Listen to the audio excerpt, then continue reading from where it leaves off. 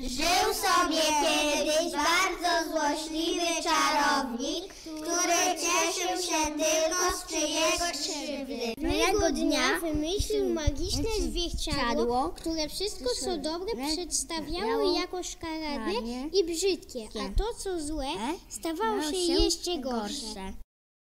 Uczniowie czarnoksiężnika biegli zwierciadłem po świecie, a każdy, człowiek, który choćby w nie spojrzał, nie potrafił odróżnić już, który świat jest prawdziwy. Ten, ten na zewnątrz, czy, czy też ten odbity w okrągłym lustrze. Ale i tego czarownikowi było mało. Wymyślił więc, że rozkaże swym uczniom, aby polecieli do samego nieba i pokazali zwierciadło aniołom. Im wyżej lecieli, tym bardziej wszystko się wykrzywiało. W końcu źli uczniowie nie utrzymali ciężaru lustra. Te wypadło i z rąk i roztrzasnęło się na milion drobnych kawałków, które rozwijały się po całym świecie. I była to jeszcze większa szkoda, bo kawałek zwierciadła mógł wpaść komuś do oka. Wówczas wszystko taka osoba widziała brzydkim. Czasem drobinka zwierciadła wpadała komuś do serca, wtedy zmieniało się w wysopel lodu, a człowiek ten stawał się zimny i obojętny dla innych. Teraz złośliwy czarodziej był naprawdę dumny ze swojego dzieła.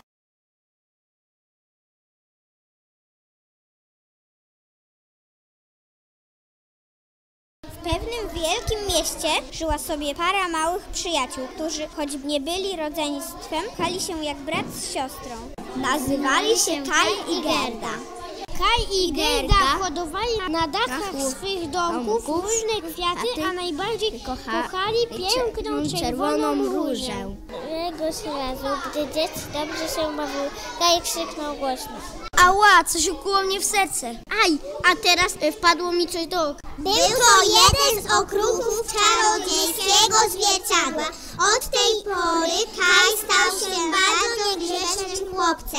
Ale jesteś brzydka, powiedział Kaj do Gerdy, a ta bardzo płakała. Nadeszła zima i Kaj wybrał się pojeździć na sadeczkach. Nagle nadjechały wielkie białe sachanie, do których Kaj przywiązał swoje saneczki. Gdy to zrobił, sanie pognały daleko za miasto. Nadeszła wiosna, a po zniknięciu Kaja Gerda bardzo długo płakała. Udała się nad rzekę, aby go poszukać. Wsiadła do łódki i popłynęła z nurtem rzeki. Długo płynęła, aż dotarła w końcu do starej chatki czarodziejki. Nadeszła jesień, a Gerda bawiła się wciąż u czarodziejki, bo ta rzuciła na nią zły urok, żeby zapomniała o Kaju i swoim domu. Ale gdy tylko ujrzała piękną różę w ogrodzie, od razu wszystko sobie przypomniała i uciekła dalej bosa, żeby odnaleźć swojego przyjaciela. Gerda szła bardzo długo, aż zaczął padać pierwszy śnieg.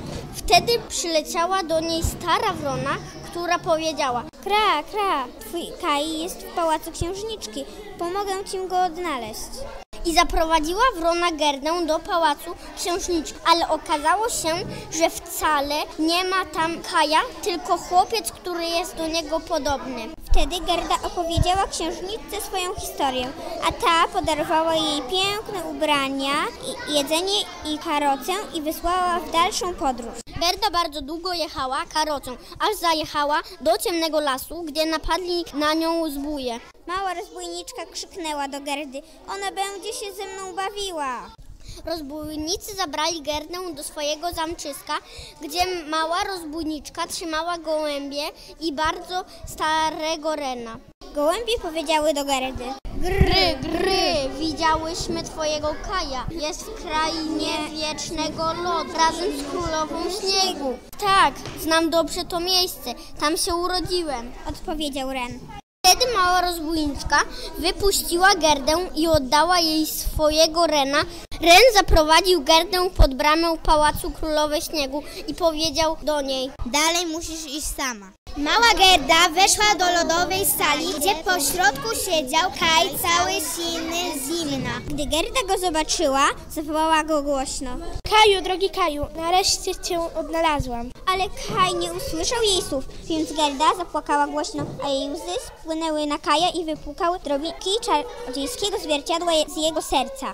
Wtedy Gerda zaśpiewała mu piosenkę. Po słowach piosenki Kaj wybuchnął płaczem i odłamek sz- szkła z lustra czarnoksiężnika wypadł mu z oka. Mógł w końcu wykrztusić. Kochana Gerdo, gdzie my jesteśmy? Brrr, ależ tutaj zimno.